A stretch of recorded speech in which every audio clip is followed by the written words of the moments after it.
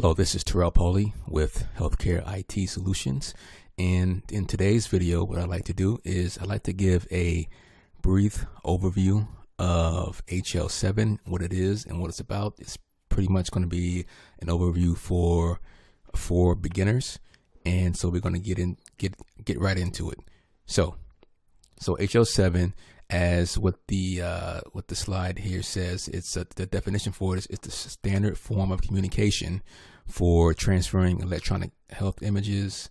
Uh, excuse me, electronic health information between various clinical information systems. So, pretty much, uh, so HL7, if you think about it, it is a so it's a form of communication. So, if you look at, for instance, uh, if you look at the language, like the um, different languages.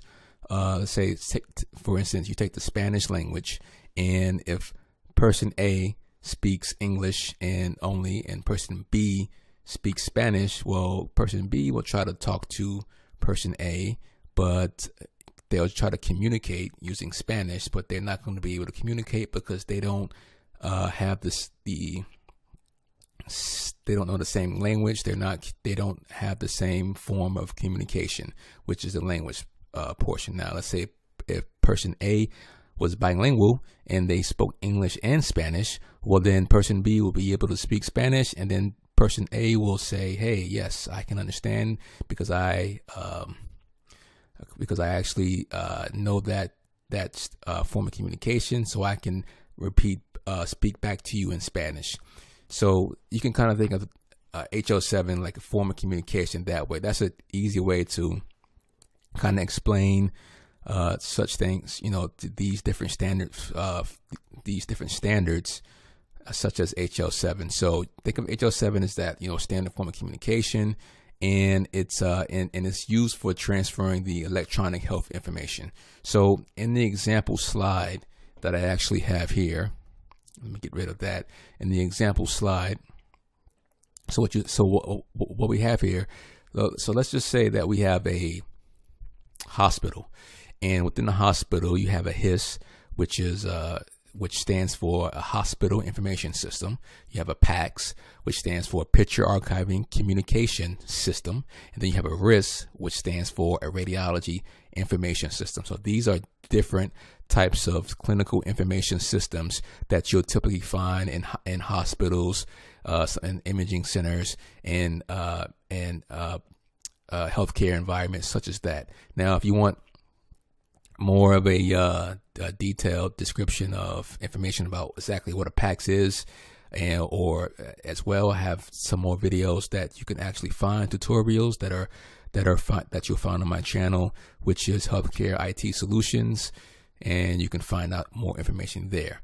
But for the purposes of this example here, we're going to go here. So we're in a hospital. You have these different uh, clinical information systems. So let's say, for instance, a patient comes into the hospital and their first time coming into the hospital. So the one of the first things that they may do is they may actually they need to get registered with uh, as a registered patient within the hospital. So the hospital staff will actually enter the patient's information within the HIS, which is which, which is the hospital information system, so they can you know they'll get regular pertinent information, name, date of birth, social security, address, and all that good stuff that is needed to uh, to actually serve and support that patient. So, in step one, what will typically happen is, or what could happen depending on the workflow, is once that patient gets registered, then where HL7 comes into play as well. Let's say if uh, the PACS also wants to have this information. Uh, so, so what uh, so what the HIS will do is actually when once that patient it gets registered, then the HIS will transmit, that will send, that will communicate that uh, that that message that it, uh, that patient registration message to PACS, letting PACS make um, making PACS aware that that uh, this patient has been registered, and that patient registration is typically called an ADT message. Um, and that's in uh, and that's what um, and that ADT message will be sent to PACS. And and typically, but I I, forgot to mention that what we're going to talk about actually, back up just one second, is that we're going to talk about three uh, common common types of HL7 messages, which are I just explained one, kind of explaining one, which is uh, a admission discharge transfer message, which is uh, ADT for short, which transmits patient administration messages. We have an order message or OR, ORM for, for short, and we also have a results message, which is ORU uh, for short. So let's get back to our example here. So uh, the HIS will send that that uh, ADT message for that new patient registration to PACS. So PACS is aware that there's a uh, there's a new patient, and PACS will also uh, uh, create a new record for that patient in PACS in in the PACS database. At the same time, or a little bit before, a little bit after, the HIS will also the, the, the radiology information system also wants to be made aware of uh, if it's a, if it's a um, if it's going to be a radiology exam, uh, then the then the RIS system will also want to be made aware of um, of that patient. So the HIS will also send that same ADT message to RIS system. So now the RIS and PACS are both aware of this new patient, and that's in step one. Okay, so now in step two of the workflow, let's say that so next the patient has been registered and now we want to actually create an order for the patient for the for the patient because they come in and they need uh, something happens to them where they injured their knee and they want to get an exam they need to, to see a doctor emergency doctor to have an examination. They're you know they're kind of bleeding out maybe in their knee or something like that and they want to get checked out asap so they've been registered was the, being being registered is the first step, and then next will be number two is that they want to actually uh, the hospital will want to create an order that uh, for this examination. So the order will be created can be created in the HIS system, uh, hospital information system, and now we want to also uh, send that order to PACS, so PACS is aware of the new, the new the new order, and the same thing with the RIS. We'll send that to, to the RIS system as well. So both PACS and and RIS are aware of the new patient, and they're aware of the order that this patient has been registered for.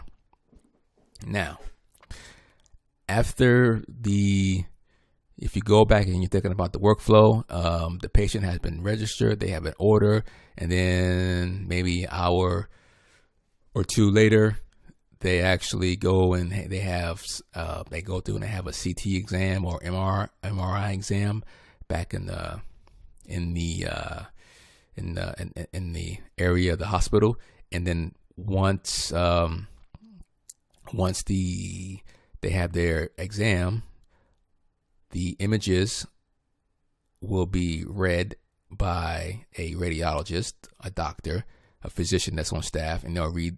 They'll read. They will interpret the images, and they will create a report, which will then. So this and this information in this example here is done in a RIS, where the radiologist will actually, because it's a radiology exam, so the radiologist will actually uh, interpret and dictate a report, and a re- report will get will get created. It gets created in the RIS. Okay, and so then then the RIS. Uh, so once so the HIS the HIS will want to be made aware of this report. So the RIS will actually send that um, send that report, which is uh, in text format. Will send that report back to the HIS via HL7. So, and that's the ORU report. So, in this example, I just uh, you know try to just briefly show uh, an example of a workflow that can be used utilizing the communication method of HL7. Now, I will uh, say that in, in in disclosure that so for me, so actually, um, I am uh, my area of expertise is in DICOM and PACS, uh, risks uh, and things of that nature. But HL7 is not particularly my expertise. There are other colleagues that are actually more geared. They're actually, uh, they're actually, they specialize in being HL7 integration specialists.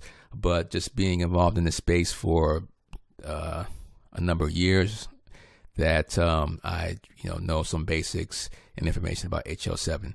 So I just wanted to provide a brief overview of what that is and hopefully that this has been helpful for somebody who wanted just to understand and kind of know what the basics are of HL7, what it can be used for, and uh, and everything like that. So if this video was uh, helpful for you, then you know give it a thumbs up. If you want to have have any questions, you can actually leave them leave them in the comments, and uh, and also as well, d- depending on what type of uh, healthcare IT job that you have, you can some some some uh, healthcare IT professionals they may actually mix.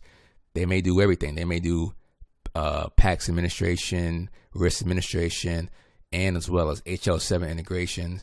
It just depends on uh, what type of job that you have. If you're working for a small imaging center or a large hospital, your roles and responsibilities can differ greatly.